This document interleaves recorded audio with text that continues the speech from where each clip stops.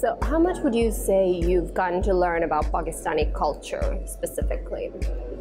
This question is quite hard because, um, for example, in my studies, I learned quite a lot about cultures in general, and the basic idea is that you can never learn enough about a culture and about Pakistani culture.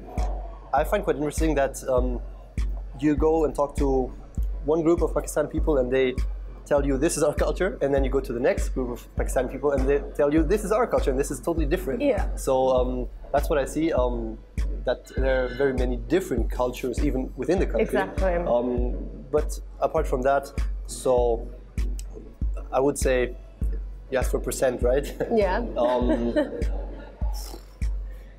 let's say roughly 40%. So I believe there's Mm-hmm. a lot more to learn. A lot more to see. Yeah. Have you? Um, I mean, you're quite into music. You play the piano yourself, right? Exactly, Have yeah. you gotten the chance to go to any Qawwali concerts here or listen to some traditional Pakistani music?